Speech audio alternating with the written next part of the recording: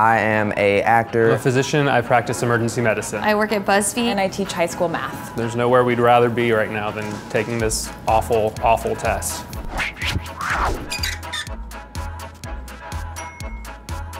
We take the SATs in high school, right? See, this is already going bad. I studied for probably an entire year for this exam. I didn't study like a lot of the other folks. My father got this video where it taught sense memory. If you smell an apple, you'll remember certain phrases and words and uh, equations.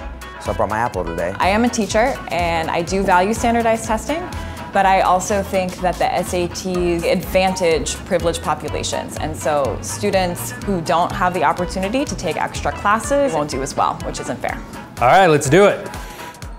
I'm ready. Can you show this on the internet? I don't know. I don't want to say it out loud, but that's my general attitude. So. said this. I wrote about Hitler. This can't be good. I wrote about rappers, so felt like what I wrote was kind of like what Kanye would say. So I'm very confident in what I wrote. All right, question 17 in section two.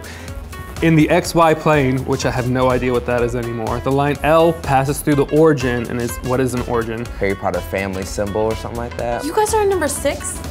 Look at them. Catch up. This is important. Sentence three. The harmful effects of smoking on the vascular system are increasingly well documented. That's a fact. Whoever wrote these paragraphs sounds like a complete douchebag when they write. Yeah, I think it's written in the most convoluted way possible to test your reading comprehension, but in fact, it's just, it's like bad writing. I'm gonna cry. this is so bad.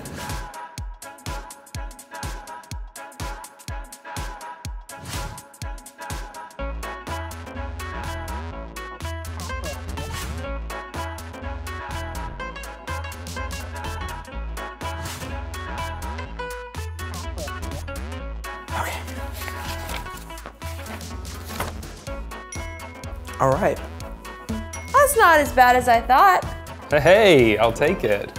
My math is lower than everything else, which is horribly embarrassing, even though I scored pretty good. So in high school, I had a perfect score in math, and it's my worst score here. Failed at math. For me personally, I don't think it's going to change anything at this point. You know, I'm not planning on going back to undergrad. I think I've done enough school at this point. It was more a test of who knew the tricks around the problems rather than how smart you actually are. I think it's good to have a standardized test, honestly, but uh, don't stress too much about it. I mean, do well enough to get into undergrad or whatever, but once you're there, just work hard there. So your life is not defined by any one score.